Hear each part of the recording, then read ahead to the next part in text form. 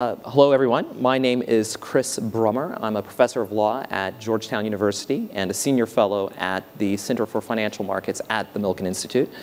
Uh, today's panel is, uh, appropriately as such, about markets. It's about markets, market infrastructure, and the impact of technology and speed on markets. And it's obviously uh, an issue that is of enormous importance uh, and increasing salience, not only for market participants, uh, and for regulators, but also for the general public. For a discussion of these uh, and other issues, again, relating to markets, market infrastructure, the new market ecosystem that's driving our economy, I'm extremely pleased to have people who have their boots on the ground uh, with these issues every day. Uh, beginning with uh, Seth Merrin on my far right, the founder and CEO of LiquidNet Holdings, uh, Jamil Nazarali, the senior managing director of Citadel, uh, Joe Ratterman, the CEO of BATS Global Markets, uh, Fred Tomczyk, the president and CEO of TD Ameritrade, and Greg Tusar, the co-head of Global Execution Services and Platforms for KCG. Uh, before we're going to launch into these discussions, uh, we, do, we had agreed that it would be best to provide a bit of context about these issues since they're a bit complex. And uh, given the fact that I'm very used to helping people cram uh, information uh, around this time of year before exams, I'll be carrying the baton uh, to offer a bit of a primer on uh, speed markets and the evolution of our markets. Uh, when one thinks about speed, uh, collectively one generally thinks about two issues, particularly when one looks at your newspapers nowadays. One is high frequency trading, and the other is the proliferation, or some would say fragmentation, of different markets in which these uh, trades are executed. For the uninitiated, high frequency trading is a kind of computerized trading uh, in which uh, algorithmic uh, trading strategies are used to move in and out of positions, sometimes thousands at a time. And what's really amazing about high frequency trading isn't just the fact that there's a lot of uh, volume, but it's, it's the speed of these uh, transactions and indeed how fast these transactions are executed. Uh, maybe if we could just start with slide five uh, briefly. Uh, simply put, uh, there's been enormous progress, enormous advances in how quickly one can execute trade over the last couple hundred years, moving from the days of the telegraph uh, uh, in which often any trading between far-flung market participants could take, uh, at least prior to that point in time, hours, days, and in the worst of circumstances, months. We've moved progressively uh, along a continuum in which uh, advances in information technology have allowed people uh, to execute trades with ever greater speed. today, uh, when one looks at uh, the metric used to calculate and to measure the speed of a transaction, we no longer talk uh, about hours, no longer talk about uh, minutes or even seconds, but instead we talk about milliseconds or one thousandths of a second, something that for many of us uh, you need a PhD in, in, in, physics really to understand, but I think for, uh, for generalists it's useful to know that if it takes uh, the blink of an eye to do a transaction, it's taking too long. Uh, alongside uh, these advances with speed, we've also had uh, advances with regard to the ability to process information. That is, we're not only able to execute trades faster, but buy and sell orders can be uh, matched and trading automatized by, uh, based on varying market data with the help of computers. And collectively, speed plus uh, information processing and information technology have given rise to high frequency trading. If we look at slide one, the slide that we had begun with, uh, you see uh, really since 2005 an amazing progression in the uh, importance of high frequency trading and the presence of high frequency trading in our markets. Um, it now constitutes over half of all trades. That is, uh, that on the other end of uh, a transaction uh, there's usually some kind of computerized uh, trading system uh, that is associated with uh, the execution uh, and the handling of that order. it's also useful to keep in mind that in addition to the speed issue, to this, this question of high frequency trading, we've seen the growth of alternative uh, markets uh, in which trades can be processed. So when we talk about speed and the evolution of markets, we're not only talking again about information technology, but we're also talking about the trading environment in which these trades are executed. Uh, if we look at slide two, we'll see uh, that there has been a growing uh, amount of trades that are no longer executed on the NYSE and, and, NASDAQ, but instead we're having a proliferation of various venues in which these trades uh, are processed. Uh, there have been different regulations. Uh, some of you may be familiar with regulation NMS that have allowed uh, exchanges uh, to operate in, in different kinds of ways uh, and have provided the, the groundwork really for institutional players to establish their own platforms for executing their customers' orders. and so we see that today off exchange trading has increased dramatically along with obviously the speed with which transactions can be executed. In short, the combination of speed and a more complex trading environment have led to uh, uh, various phenomena, or at least uh, uh various sort of upsides and downsides, at least according to many experts. Uh, for the positive, uh, people have identified, if one looks at slides three and four, a reduction in the price of trading. Um, at least when one looks at the bid-ask spreads for trades, they've fallen to historic lows.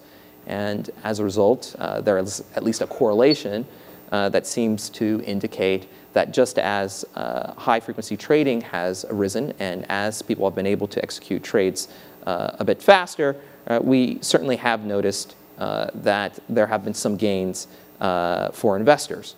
On the other hand, as many of you know, there have been an increasing amount of criticism about both speed and the environment in which these trades are, are executed. Um, in short, uh, perhaps popularized, as many of us know uh, from, from Michael Lewis uh, recently, uh, there are concerns that the market uh, may be rigged insofar as faster trades allow some market participants to weave in and out and between some of these different markets uh, that we've seen.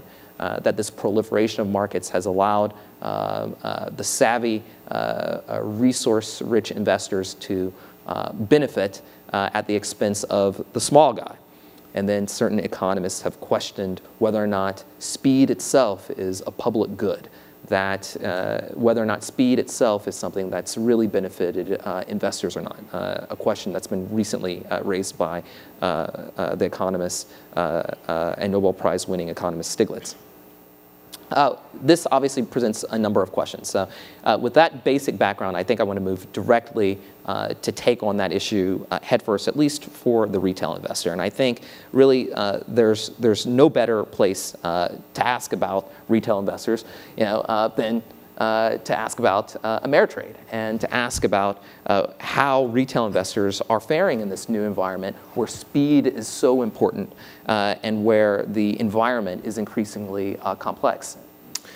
Yeah, so from, from our perspe perspective, largely a retail firm, we would say the retail investor today uh, has it better off than they've ever had it in history. If you look at a number of statistics, you look at the average commission per trade, it's gone from 10 years ago, $52 in our space to uh, roughly $12, so about an 80% drop. If you look at bid-ask spreads on most traded securities, uh, they used to be in 16ths and, eighths, you know, say 6 to 12 cents. And today they're trading on average at 2 cents. I think on most actively traded stocks, they're trading at a penny.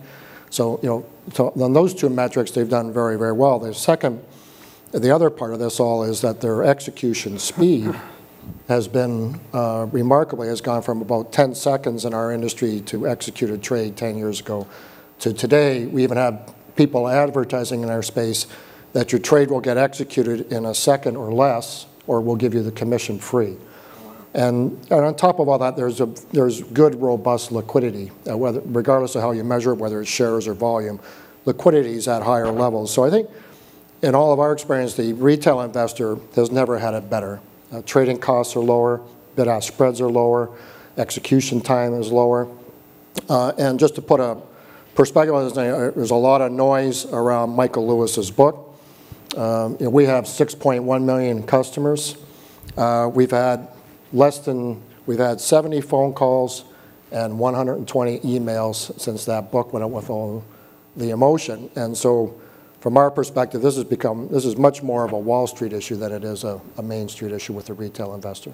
And, and, can I just follow up very briefly with the question on commissions? Is, is that uh, fall in the, in the, price of commissions, in your view, driven uh, uh, by, by the speed or by uh, more competition in the market with the trading venues? What exactly is, is, is pushing uh, the pressure on? Well, I think all the improvements in the market and then the reduction in commissions is really I think regulation has, we've had smart regulation, which has changed the bid-ask spreads, decimalization, the electronification of the markets, a competitive market structure have all driven increased competition and a push.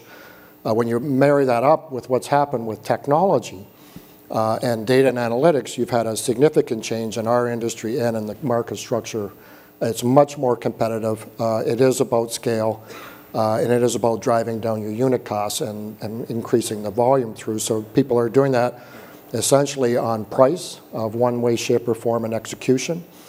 And um, so it's been driven by, you know, I think regulation, but by technology, uh, which we would include big data, you know, big data and analytics, but we'd also include high frequency trading in that in that venue. Interesting, interesting. Uh, yeah, obviously, when one talks again about this new environment, uh, the question about uh, trading platforms and proliferation of trading platforms uh, becomes uh, uh, very important.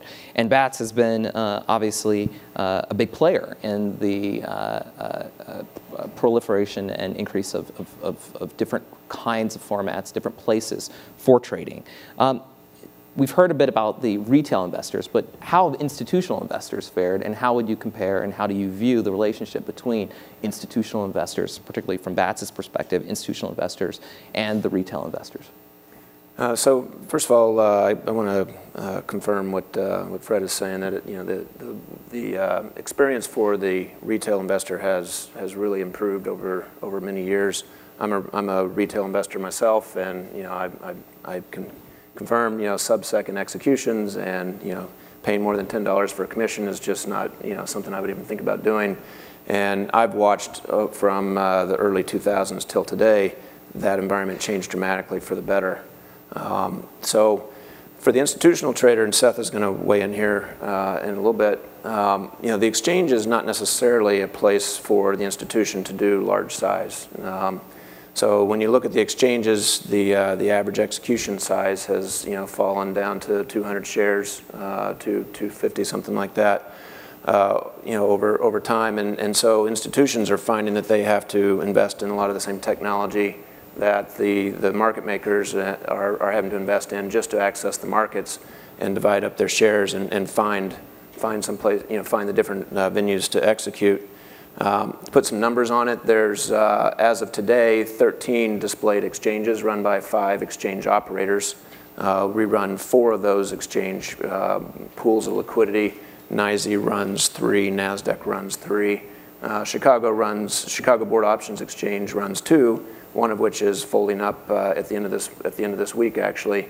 Uh, so there'll be 12 exchange books by the end of, by the end of this month. Um, and there's been some consolidation. So you see one of these books going away with our acquisition of Direct Edge. Uh, we've gone from two operators to one. So there is some consolidation happening in this space. Um, some other things I want to put on the table just to help understand um, you know, where the institutions would look at this market. Uh, you talked about 51% uh, on that last chart. I think that was from TABB, which was uh, high frequency uh, trading. So it's, it's hard to talk about that as a single number. So just to put some, uh, put some uh, feel to it, uh, at BATS, and I believe this is indicative of NYSE and NASDAQ as well, I would say about 31% of the volume on our market is, is, uh, by, is done by market makers. Uh, and I've, I've kind of stopped using the word automated market makers because really market makers are of one flavor today. Um, and then about 30% uh, of the volume on, on the exchange is also from bulge bracket firms from the JP Morgans, uh, Goldman Sachs, Citadel, uh, not Citadel, uh, and so forth. About 15% is from uh, niche or second tier broker dealers uh, bringing institutions into the market. And only about 10% really is proprietary trading.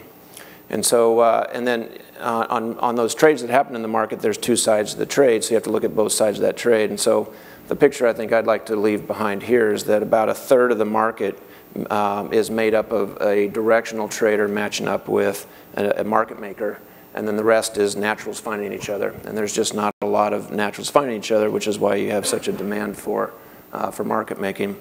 So, um, you know, market make, or sorry, uh, institutions are, um, are having to go through a, a, series of different exchanges and dark pools to get their trades done. Uh, I certainly commend Seth and Liquidnet as well as uh, you know, ITG's Posit is the other place where large institutional trades are happening today. I think the average trade size on your market is 30,000 shares or something like that. Over 40. Over 40,000 shares.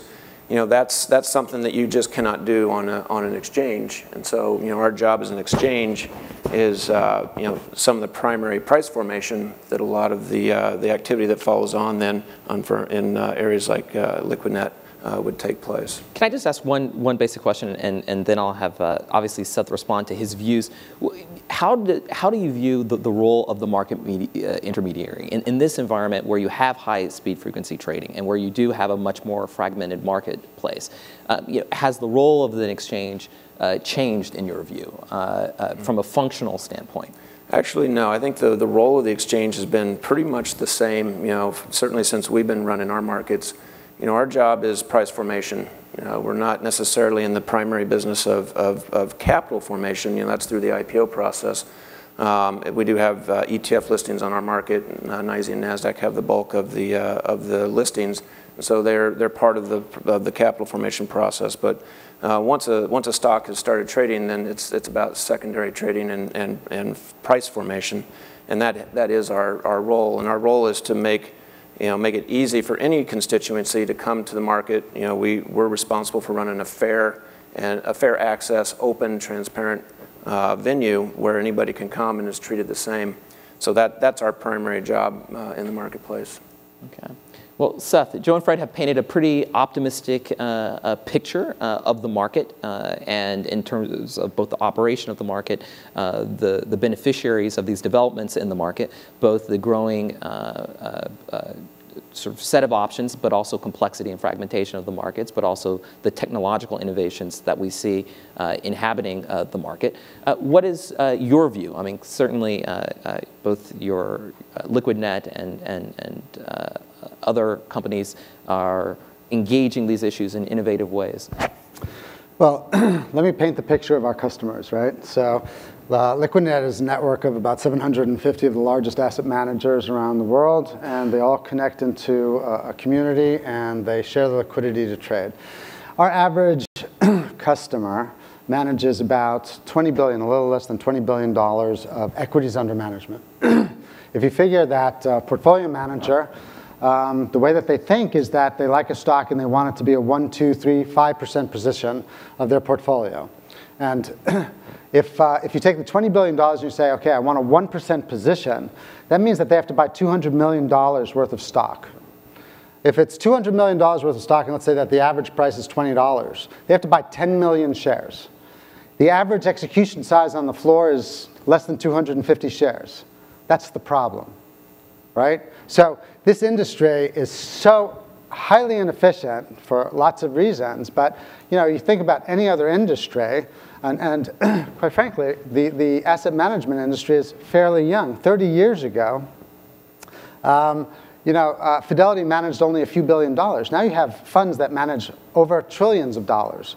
Um, so, you know, the, the, the assets under management have grown 40 times in the last 30 years. You would think that there would be a wholesale market that would have popped up to handle the wholesale buyers and sellers. Well, it hasn't. Um, and you know, just because of that inefficiency, and it's simple, you know, um, anybody taking economics?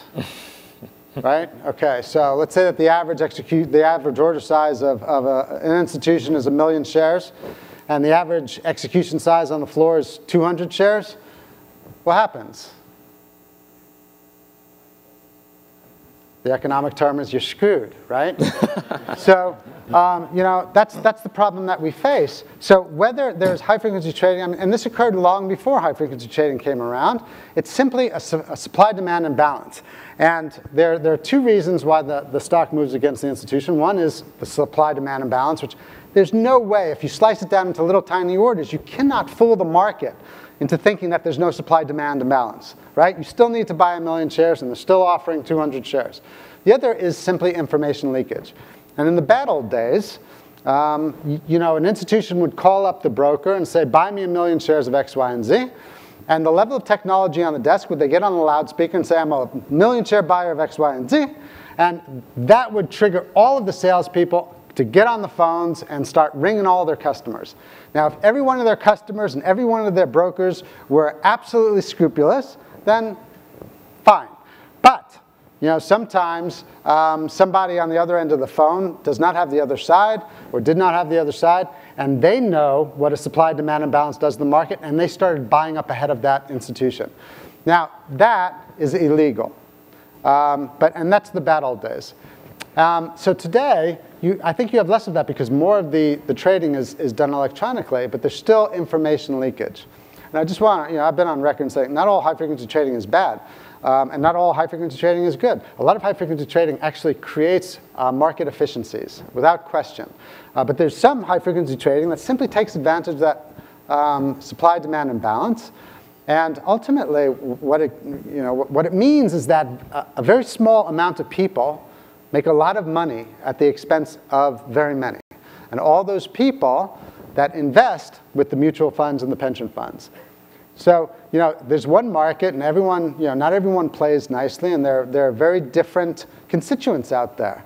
Um, but that's the reason why LiquidNet exists. We're not a 100% solution, but in the case where you can match up size with size and eliminate that supply-demand imbalance and eliminate the leakage that goes with it, then, you know, it saves a, a tremendous amount of money and actually it goes into the returns of all of us who invest our money with those mutual funds and the pension funds.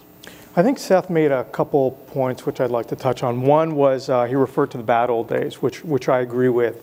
Uh, today's trading is so much more efficient than it ever has been. Uh, I think Vanguard, which is, as you know, one of the largest institutional money managers uh, in the world, in a letter to the SEC, their chief information officer was talking about the benefits of automation to the marketplace. And by Vanguard's uh, estimates, uh, automated trading has reduced the cost of, uh, of getting in and out of these million share trades by 50 basis points. Now that's hard for an everyday person to understand. What's 50 basis points? So Vanguard took it uh, a step further and they calculated that if an ordinary investor was investing $10,000 and they're investing it for the retirement, at the end of 30 years, because of that 50 basis point reduction in transaction costs, they would have an additional $32,000 a year. So those, those are the kind of benefits this automated trading has brought to the marketplace, and I think that anyone who invests in today's market is a, is a big beneficiary of that. Well, it's, it's certainly not only, uh, and, we'll get into other, other sources of potential inefficiencies, uh, or at least potential sources of, in some would argue, unfairness, uh, in the sense of uh, uh, some folks having uh, co-located facilities and getting speed advantages over, over others.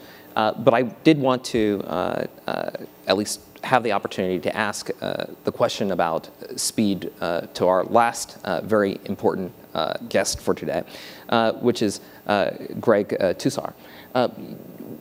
the market inefficiencies that, that Seth is, is, is, identifying, the fact that inevitably there are there seem to be some kinds of market, or excuse me, informational leakages that create opportunities for what some would describe to be a modern uh, version of, of, front running. Others would just certainly say, well, it, it enables a, a, form of, of faster momentum trading that leads to greater volatility in markets. I mean, what, is, what is your view uh, towards these, these market um, uh, features and, and, this discussion as to, as to market efficiency? Because it, it, appears to me, and from many in the audience, that what, you're, uh, what you do see are, are, are some folks who have the ability to move faster than others, glean certain forms of information uh, that uh, allow them to execute faster trades.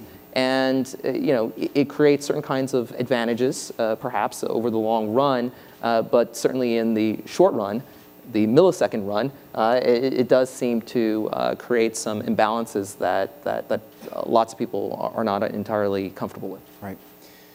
So I think a couple things before, before addressing the difficulty for institutional traders, which I think no, in, without a doubt has gone up a lot in a world that's been geared much more towards the small order than the large order. Um, I, I, just want to address the issue of speed, which is sort of central to the panel, to the discussion.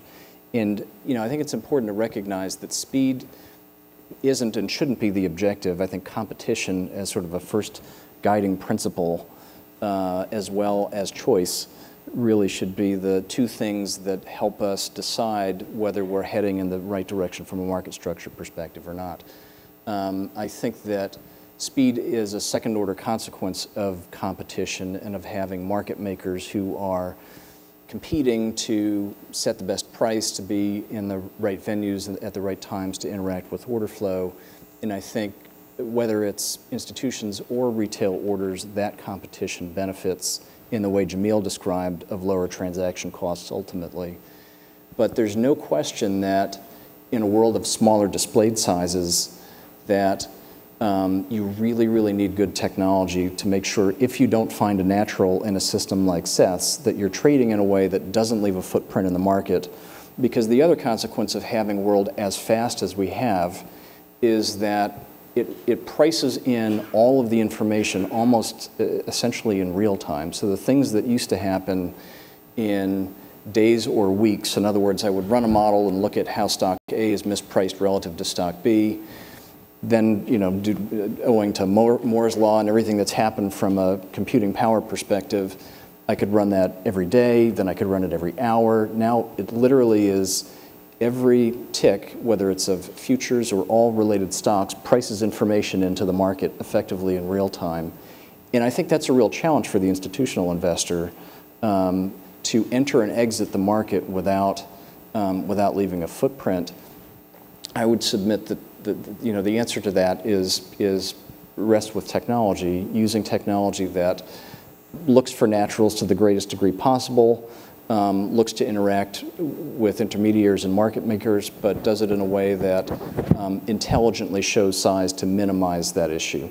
I think that given what Vanguard and some others um, in some recently published op-eds have shown, it is possible, and I think it has led to lower transaction costs. Can I just say that um, Vanguard is one of very, very few buy-side firms who talks about actually reducing the overall cost. And we all know that, you know, measuring this thing.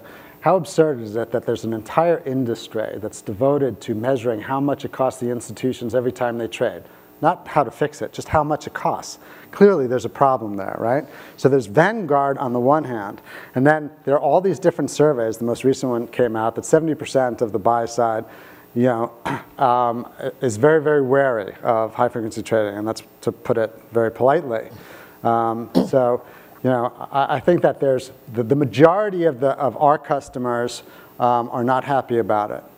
Not that it, they're doing anything illegal or doing anything immoral. I think that it just comes out of the overall return, um, and, and it just forces the prices higher or lower.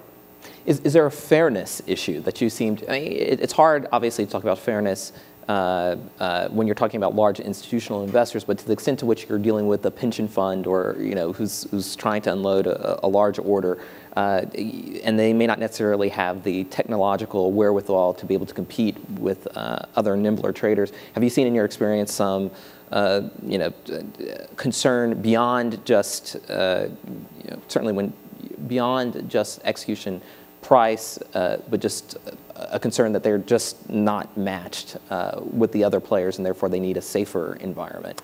Um, there is absolutely an arms race that goes on, right? So that um, you know, it's it's electronics, um, the algorithms against algorithms. So you know, everyone's trying to find an algorithm that can outsmart the the HFT um, or the other predatory players out there. And the predatory players are the ones that have a lot of money and, and uh, are, are, specifically focused on um, outsmarting the algorithms that the buy side have. So, you know, it's really, it's not, um, and, and so our customers and, and the asset managers, they're all big boys and big girls, right? They're not the ones that you have to protect. It's up to them to protect their information.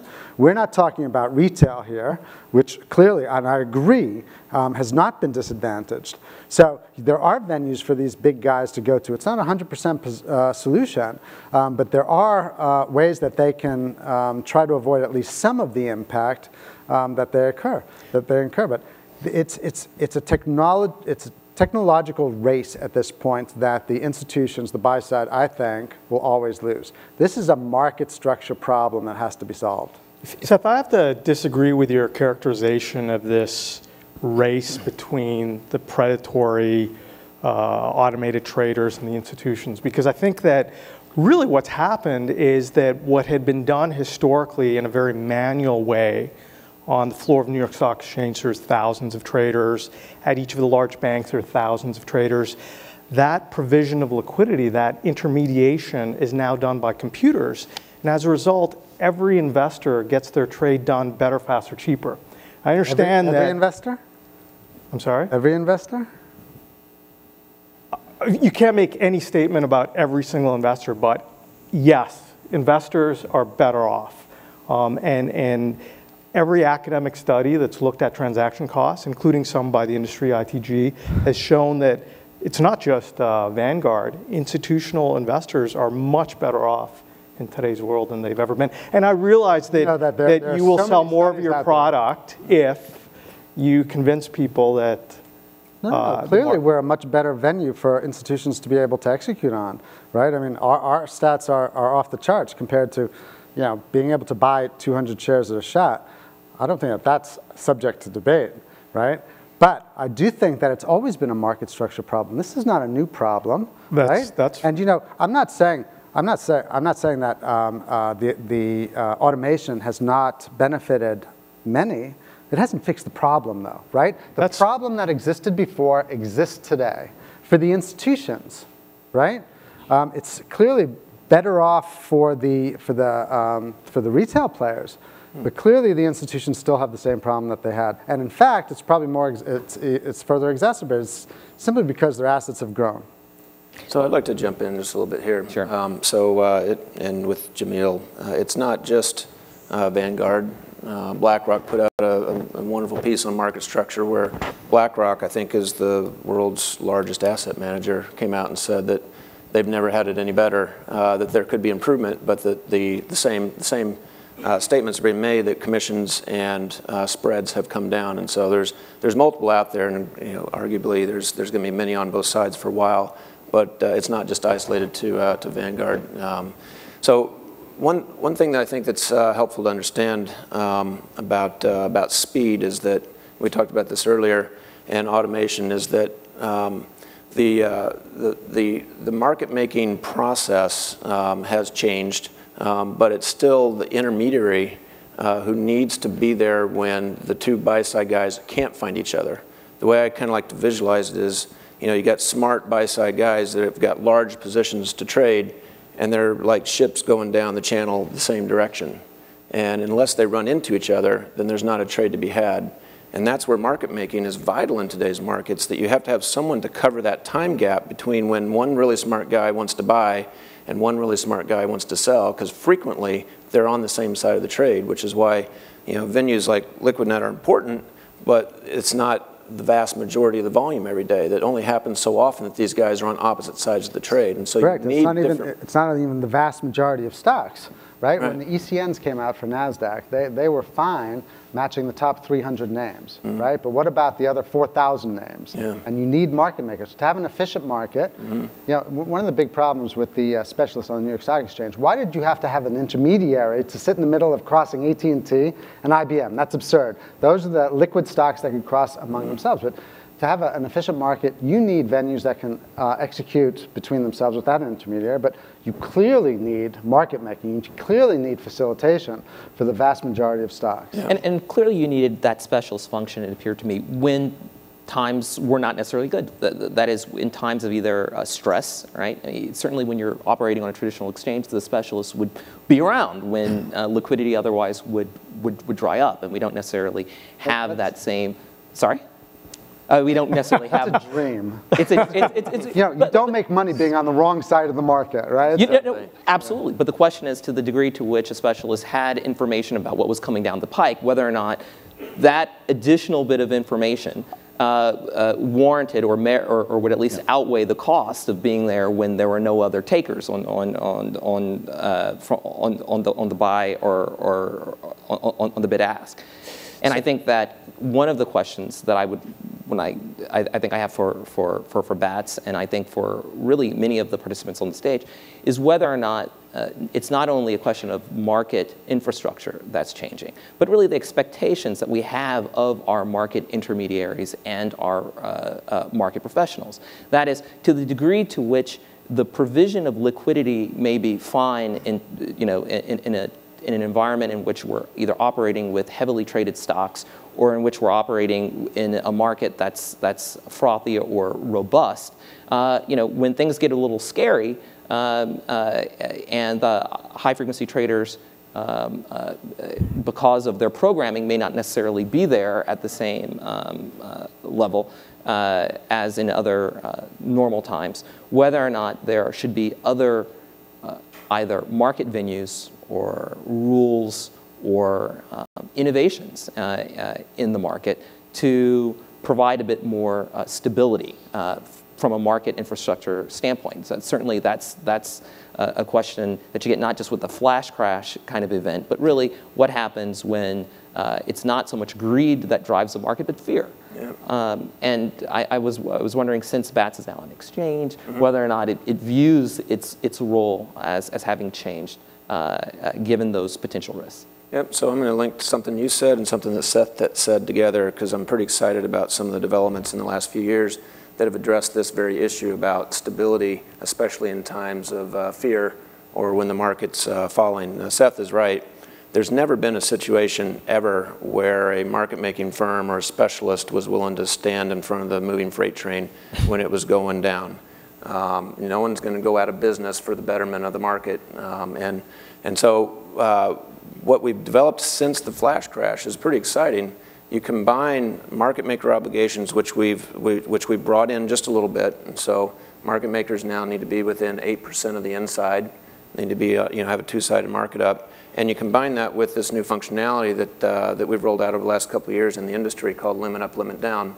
You now have a structural way in which the market stops trading in times of stress so that uh, people can take a collective breath, go back and look at their screens, look at their data feeds, and decide where a stock really needs to be trading instead of you know, letting it continue to fall in a continuous fashion and hoping that somebody holds it up.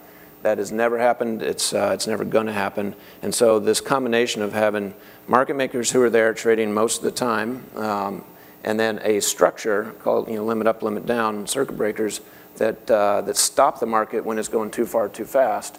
Everybody can take a breath, come back, open up, open up the stock where it's supposed to be trading, and no one has to go out of business uh, to support that stock. And so pretty excited that this has been rolled out in the last few years. And uh, you know, I would say that that was probably one of the biggest holes that the industry saw with the flash crash, and that's been completely plugged.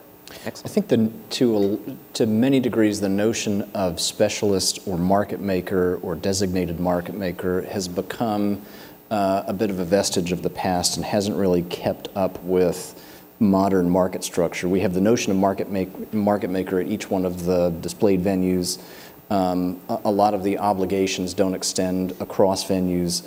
I think one of the things that um, we should discuss and debate as an industry is it seems like we're going to go through a holistic review is what the benefits and what the obligations should be for a market maker because I think that's an important principle. There are many things, as were said before, about the floor of the New York Stock Exchange that, as sort of a closed system and a lot of informational asymmetry and things that I think are far better off. But I think the, the principles of market making and reestablishing them so that people understand what quote unquote HFT is, and we have a definition of market maker that is systemic, would be a, a, a good step forward. I, Fred, I, want to get back um, to this question of, of, uh, of the retail investor, of, of the small guy. You know, one of the interesting things I seem to hear, both from um, uh, Seth, who's, who's obviously taking, uh, being a little bit more circumspect about the advantages and disadvantages of, of high frequency trading, and obviously from the other panelists, is that uh, as you've said, uh, it, it, appears, uh, at least in the panel, that, that retail investors um, are benefiting from this technological, um, from these technological advances. However, there is concern uh, with retail uh, investors, particularly after the financial crisis. But you know, uh, certainly now there's a sense that they don't have the same ability to profit uh, and to earn the same revenues as perhaps more advanced players in the market. From your perspective, from the retail end, what do you think could be done uh, to help to allay these concerns of market confidence? Obviously, uh, uh, Ameritrade is doing well now, but it, it's, it's a longer systemic question as to uh, the participation that uh, Americans have in their financial markets when there's a sense somehow that they're not being able to operate on a, on a level playing field. Yeah, I'm not sure. Um, I'll make a couple comments. First off, the average retail investor, when they put in a trade, uh, if it's a market order, they just they see a price that's quoted. Did I get it or did I not, or did I get better, and how quickly? That's their view of the world. And so that basically, if I saw $20.02 and I got $20.02 in under a second, I'm a happy camper. If it's a limit order, you basically specified the price you want. Did I get that price or did I get better? And how, how long did it take to, to fill that? So I think, uh, and in some respects, I, I, I hear that people arguing about, uh, you know, is the, the reality is, is the markets have been retailized. And I understand the issue that that creates for some big buyers and sellers, but you know, in a selfish perspective, I, you know, we'll always say, well, let's retailize everything because at the end of the day, that's the best thing for the retail investor. I do think where you have confidence issues, and it's, it's not caused by Michael Lewis's book, um, I think um, what you is the events that you have, whether it's uh, an IPO that goes bad, and you know to uh, some of the market makers on it for, like our clients that day when the Facebook IPO went down, they stepped in and made them whole. That, that's, that's, you know, we thank those market makers because that, you know, they were there, they made our clients whole on a tough day. And I think what we, and I think what, uh, what Joe was talking about with, you know, limit up, limit down, and the tighten market maker responsibilities should take away a lot of these events because retail investor gets worried about they really don't understand how the market works but when you have an event that destroys confidence uh, that's when they get upset so if i could just chime in there right um, I, I, think that what would add to market confidence is for our regulators I, i'm going to agree with greg to be a little bit proactive right? And, and thinking about any, any business, if, they, if they're doing the business right, they're going to think about, okay, uh, what's the environment today? What's the macro? What's the micro? And, and let's think about the top 10 risk lists. What could happen that could go wrong? And let's come up with some mitigation plans, right? So, you know, when, when um, uh, uh, we, we knew about electronic trading a long time ago. We knew and we should have known that, you know, even with fat finger things, you know, we could shoot uh, the market up or down for, for no reason whatsoever. Yet it took the crash and then multiple years afterwards for the regulators to say limit up, limit down, right? How absurd is that? If we could anticipate some of these things um, ahead of time and let, you know, the SEC um, is in the, the largest financial center of the world, right? Washington, D.C., for some reason.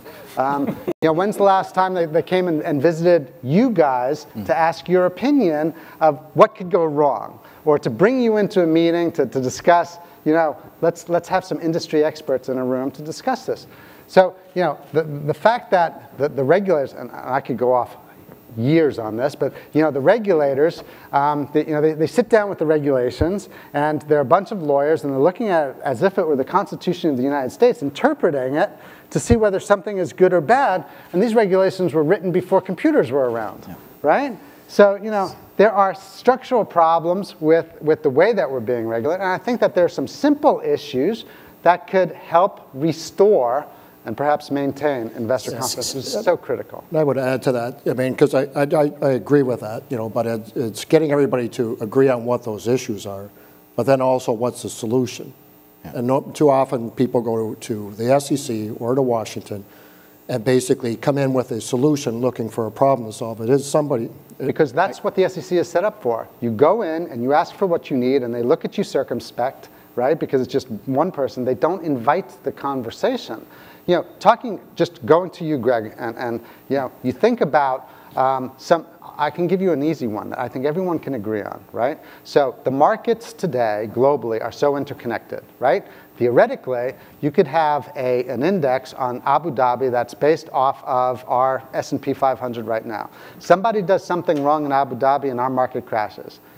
That is something that is a risk that people should be thinking about and trying to figure out how to solve today, not after the fact. I think that that's just one example of Agree. And, and I think just to go back to Fred's point, we have to agree on first, if we're going to have a holistic review, what are first principles for that holistic review? Are we solving for displayed liquidity? We're solving for spread? We're solving for a number of things because I do think there are a number of specific solutions that, that address specific problems, but we really need to take a step back and look at the whole, the whole thing. I think the other thing, having mentioned a few firms, what they have in common is a very quantitatively driven investment process, which lends itself to measurement. And I think one very positive development at the SEC has been the, you know, the, the Midas system, as it's called, and the data that it now produces should lead us towards a more data-driven approach to regulation. And I think asking ourselves, what does the data suggest we should do, is a, I think, an extraordinarily positive development because we talk a lot about things like predatory strategies and things, all of which manifests in the data, and we should be able to answer these questions. Um, I, I, you know, I think that's something that regulators in the industry need to continue to invest in. I'd like to add in there that uh, I'm very optimistic right now with the current commission and the staff at the SEC. So Midas system that, uh, that Greg talks about is uh, really the, the, the, spokesperson there is Gregg Berman. He's out talking a lot. You can read a speech that he just gave a couple weeks ago where he's you know, talking about complexity and speed from a data-centric perspective. Um, you know, Mary Jo White has just hired a head of T&M, which has been vacant for better part of a year. Steve Luparello. So now they've got the staff in place. You've got uh, a strong commission from my perspective, and you've got a chairman, a chairwoman, Mary Jo White, who has gone on record with Bloomberg saying, you know, we're going to stop, we're going to walk our way through, we're going to look at everything, everything's on the table, and we start from a perspective that the markets aren't rigged, and we need more statements like that from the regulator where they go in and they look at something and then they, they declare, we've looked, it's fine, we're moving on, or we've looked and there needs to be improvement. And I think that's going to restore a lot of confidence is when you hear a regulator, to at this point, saying out loud what they've seen, what they've looked at, and what they're going to do. And, uh, and, you know, it has been kind of quiet for, uh, for the last few years. Um, but I think we've got a very strong commission right now, and you've got a good staff at T&M that can carry us through this. Well, cer certainly, as, as, a Washingtonian who works across the street uh, from the SEC, one of the things that you, you notice is that, you know, in a world in which markets move in microseconds, you know, regulators are not uh, institutionally uh, always uh, able to respond uh, in, at a speed that, that matches the needs of the market, in part because of the, the complexity. And so regulators obviously aren't going to be able to do everything by themselves. And uh, Jamil, I, I want to ask you, from your own perspective, well, what do you think that the market itself could do, perhaps, to help to bolster uh, uh, uh confidence and to make uh, improvements in, in, in, the perception of how these developments in market infrastructure are impacting the, the efficiency of, of, of trading? So I think I think probably the most important thing that the uh, that, that the market can do is to stop the uh, food fight where everyone is pointing fingers at everyone else. Um, I think that we all agree that uh, that the market that that there are still uh, improvements that can be made, but that uh, things are much better than they were 10 or 15 years ago. I wouldn't, uh, I think, I wouldn't go back. Uh, yes, exactly. So I think we all agree with that. I think we all agree retail investors uh, as a whole are much better served than they've ever been before.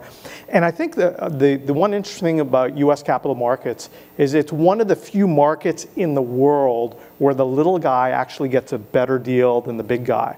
You know, if I'm buying a million bottles of Coke or if I'm buying, you know, a ton of steel or, or if I'm buying anything in bulk, uh, I typically am going to get a much better price than if I'm buying a small lot. Uh, in US capital markets, the little guy who's buying 100 shares can actually transact at better prices. Are you than- saying that as a positive? Just a fact. I'm saying that as a fact. It is a fact, but that is an inverse market, right? You know that that's screwed up. Remember that the institution is managing money on, all the, uh, on behalf of all these little people. So you can't simply say that the guy who, who goes to TD Ameritrade to buy 100 shares of something um, is, the, is, is advantaged. You know that if you are going to buy in bulk, um, you should be getting a overall better price than that who's buying retail. And in fact, you know, in the ideal world, you know, when, when a retail guy goes to buy something on TD Ameritrade and gets the price that they see on the screen, that's an example of an, inefficient, uh, of an efficient market. That's what we should strive for, right? So that when an institution wants to buy a million shares, theoretically, they should be able to buy a million shares at the same price that they see. Um, of course, that's, that's a pipe dream, right? But to say that, that that institution, again, managing money on behalf of all of us, who has to buy a million shares, 200 shares at a shot, one penny up, that's just an absurd But- but situation. Greg, please. No, no, I mean, I guess I, my, my own pushback is a competitive market structure, and there's a lot of innovation going on. If that's an issue, then why can't, you know, the big houses come up with a creative solution? And I think they have. I think your platform is there. It's a creative, innovative solution. I think, I think uh, uh, there's been a number of algo I think providers that's the right question, though. And it's never going to be perfect. I'm sorry. That, that have created solutions. So, you know, we, we talked about the issue of fairness. Is it fair that uh, some people have co-located computers within the stock exchanges? It is fair because uh, anyone can get the benefit of that by paying fractions of a cent to their algo uh, uh, provider. You know, you don't have to go there and put your own computers there. What about you the spread networks that will only sell their line to people who can pay, what is it, $20 million a month? Yeah, No, let- let me put a fine point on this. uh, From, from looking at the, the dashboard I have as an exchange operator, 97% of the volume done on my exchange, and I assume the same to be true for NASDAQ and NYSE, is done by people who have taken our direct data feeds and put servers next to the exchange. And so all broker-dealers are accessing the exchanges the same way. It is fair, and it's not just fair, it's actually being used that way. There, there's hardly any participant that comes into the markets today that doesn't use colocation and direct feeds to transact with the exchanges. So whether you're an institution coming in indirectly But through that doesn't really answer the question, Joe, right? I mean, there are folks that have the wherewithal to pay for that extra, you know, decrement of lessening, lessening the millisecond. It's, va- it's the I- entire market. That's my, that's my point, is that 97% of the volume that's done on exchange is done by people who have those same tools. So the whole market has come forward. It's not just a few elect people uh, that take those, that take And, and that speed enables, enables uh, liquidity providers to quote better prices because they can manage their risk better. So quotes have narrowed, and as a result, trading costs have gone down. That's, that's, that's interesting because obviously Joe Stiglitz uh, has questioned, you know, uh, where does it all end? And this is actually getting back to, to this question of an arms race, right? Yeah. Uh, yeah. What, is, what is the value of speed? After you, you, you move past a certain, um, you know, once you start to move towards the speed of light, uh, you know, is there additional social value uh, that's being offered? I think that's. Yes, we, I- we take away from that debate, quite frankly, and, and let's go back to what is the purpose of a market, right? So, you know, when the SEC, when you talk about principle-based uh, regulation, what's the purpose of a market in the first place, right? Uh, it, in its most simplest, it's about capital formation, enabling the capital formation process, and providing a safe and efficient venue where people can exchange those shares, right? So anything that doesn't look like that should, I think, be questioned. So if, if, if there is somebody who can get to a price faster than somebody else because they can pay a higher price, is that inherently, is that helping the market structure? So, I, so I'd like to. Can I, I'd just, like, I, I just want to have Greg, because I know he's, Yeah. he's, he's tried to chime in once or twice. So I just, I, I I think the question of, um, of speed, again, just going back, I'd like to reiterate the point. I don't think speed is something we're striving for, and in fact, I think there are, there is some, there should be some guiding market forces that determine how fast is fast enough. Uh, uh, you know, I think that ideally, that's something the market decides rather than having a, a regulator to decide. It's really 300 microseconds or 3 milliseconds or 5 milliseconds, that there's some efficient price at which paying the extra uh, amount for a special network or this or that um, is no longer valuable enough.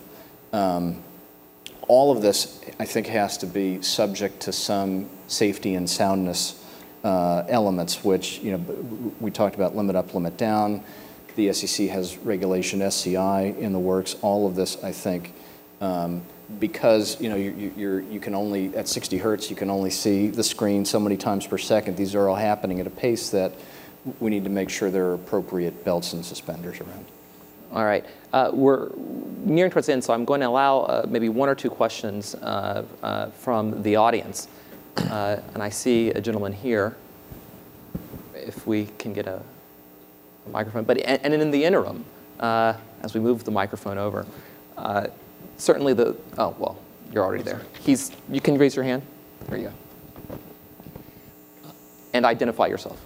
Uh, My name is Adni DePaulo. Um, I am surprised that you've only, in terms of TD Ameritrade, only received such a small number of calls. I just don't, I wonder if the information has just gotten out there enough. But one of the things that I'm hearing from people is the concern, they don't understand this. They don't understand what's happened exactly, but they have some bit of information that it, it's not all good. Granted, the market has improved over the last 10 years, five years, they're getting, they're much better than they were.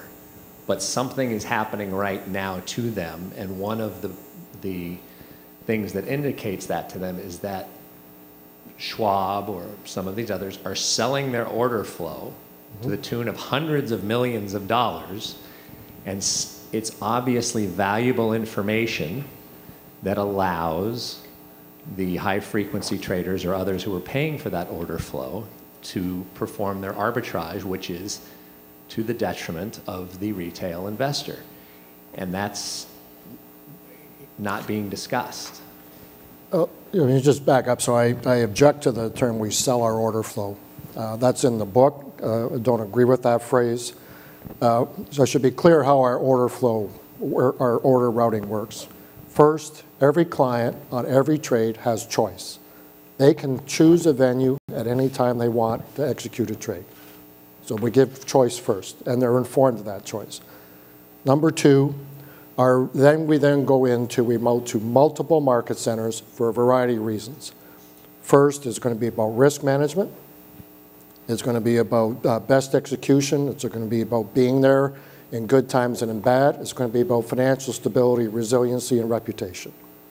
And all those venues, basically, you know, we go to for a variety of reasons, but, you know, we want multiple venues and competition because basically there is incidents. We haven't talked about technology resiliency in the industry, but, you know, you can have an incident where one of those venues goes down.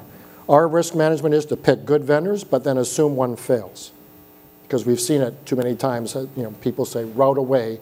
You have to be able to move your customers' orders literally within seconds. So that's the second reason, the second thing that goes into it. Third is best execution as defined in between the NBBO, and there's, there's clear rules on that, and you have to follow those, and we get price improvement 90% of the time. Now, how do we do that? Because all those venues that we route to, and you can ask the guys that deal with us on the stage, is not always fun because we track your best execution daily. And if you're running off course, you get a phone call and you either rectify it or you can ask them, they're going to, they're going to lose some of our flow.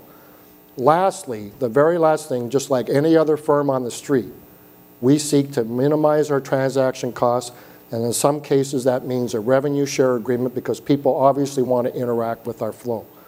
That's one of the reasons why commissions have come down because basically the industry has been doing that. And by the way, you know, the, you know, payment for order flow per trade has come way in with decimalization.